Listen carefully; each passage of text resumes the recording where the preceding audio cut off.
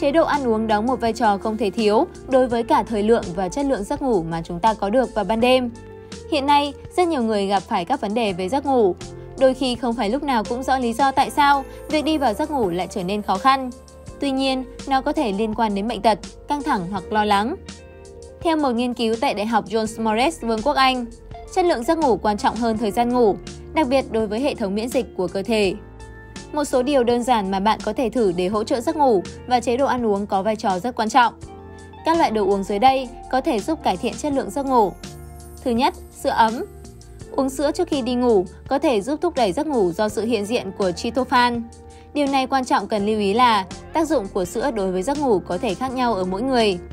Một ly sữa ấm trước khi đi ngủ có thể giúp nhiều người trở nên dễ ngủ, trong khi đối với những người khác lại không phù hợp.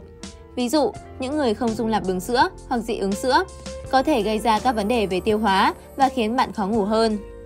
Thức uống thứ hai đó là trà hoa cúc. Trà hoa cúc được làm từ hoa khô của cây hoa cúc, một loại thuộc họ cúc. Loại trà này có tác dụng làm dịu tự nhiên, có thể giúp thư giãn các cơ và giảm lo lắng, giúp bạn dễ đi và giấc ngủ hơn. Trà hoa cúc thường được sử dụng như một phương thuốc tự nhiên cho chứng mất ngủ và các vấn đề về giấc ngủ khác.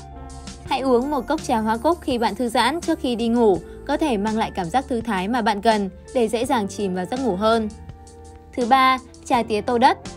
Trà tía tô đất được làm từ lá của cây tía tô đất, một loại cây thuộc họ bạc hà.